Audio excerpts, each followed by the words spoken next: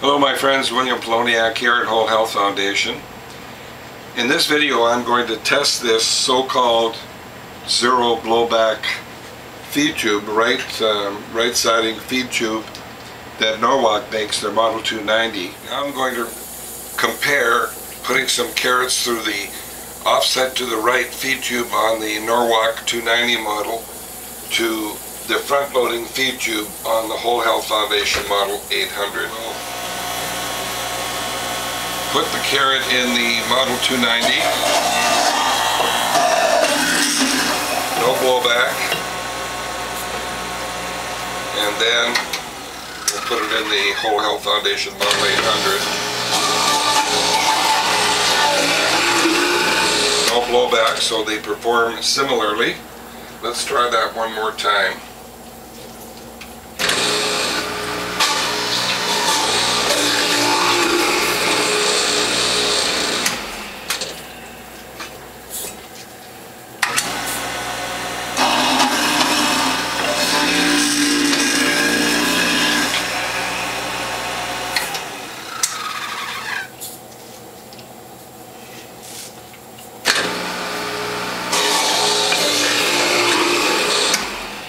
Well, the blowback situation is similar, but one disadvantage to the Norwalk uh, Model 290 is you can't see in here unless you look over. On the Whole Health Foundation model, you can see directly into the feed tube, which is a big advantage. All right, let's compare some other features. I notice on the 290 model they have a thicker upper plate similar to the 280 model but the press plate is still too thick. It should be one quarter inch, not one half inch. Otherwise, over time, the piston is going to mushroom at the top. And here on the Whole Health Foundation Model 800, we have a thinner upper plate and the correct press plate. If we had a quarter inch thicker press plate on the top, we would switch this to a quarter inch um, thinner press plate.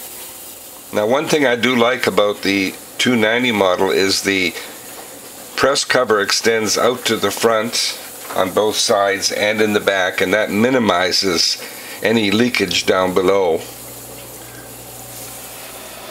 Now one thing I really dislike about this model is you can't turn it on unless there's another switch in the back and then it turns on. This seems very redundant to me. If I were making this juicer, I'd have only the switch in the back.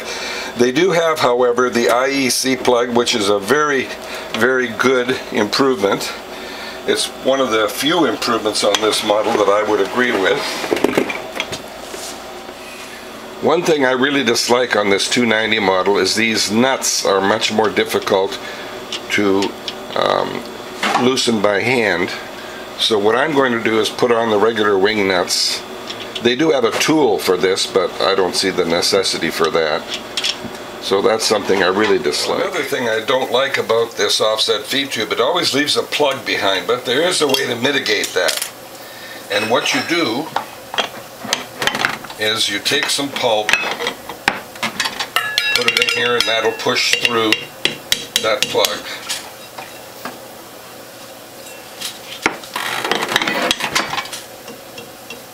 And another thing I don't like is it doesn't have tall enough legs so that you have to tip this back every time you take a single serving jar out.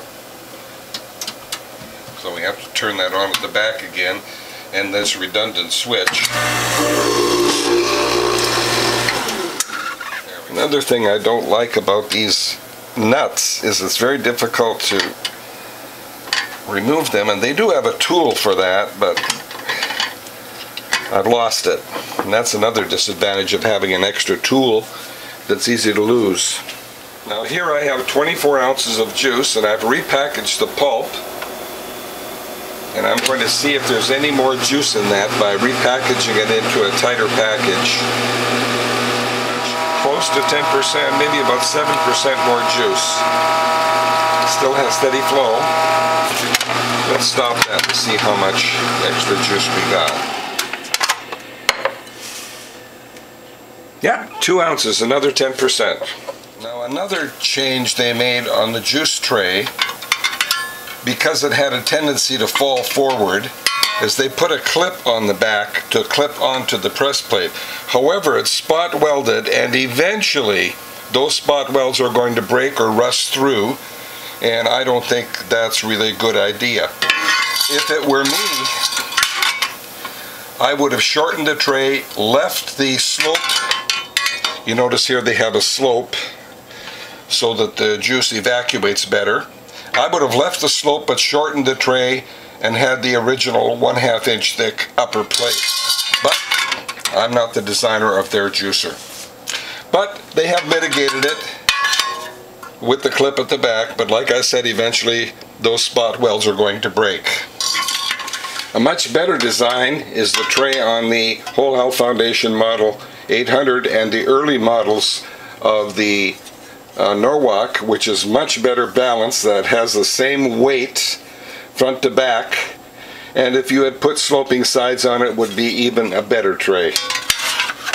But this original tray is well balanced. It has the original upper I think it's a three-quarter inch plate and um, functions without falling forward and no need to weld on a clip at the back because it stays on the press plate properly. Another change they made on the 290 model is they eliminated the vent holes on the side. I don't know why they did that. It would have been a good idea to leave them. And they changed the vents to up here and down here. Now if it were me, I would have left the vent holes at the bottom and the top and the side and added these two vents. You can see on the other model, now you can see on the original model the vent holes at the top and the bottom and the side. Now if it were me, I would have added the vents in the middle and the bottom. As for the feed tube, the choice is yours of course. The offset to the right feed tube always leaves a plug inside and you need to remember to put some pulp in there and force that plug through. Or you have the Model 800 Whole Health Foundation feed tube that is angled toward the front zero blowback up to your ceiling, and a much more ergonomically um, practical design where you can actually look inside to see if there's any produce shred or not shred. You'll never have a plug left over on this design, whereas on the Norwalk model you'll have to push that plug through. Well my friends, there you have a comparison of the new Norwalk 290 model with the Whole Health Foundation Model 800 that has several advantages, one being the thermometer, the second being a solid bottom plate, and other premium parts that the 290 model does not have. There are a lot of good features to this model, and there are a lot of good features to this model. I think this model is superior. Actually, I know it's superior, and I've explained how in other videos.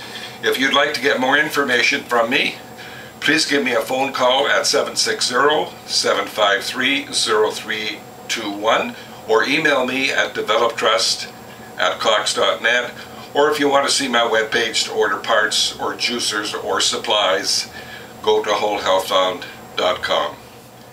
Well, I hope you enjoyed this comparison, and if you did, please tell a friend. I'll see you in the next video.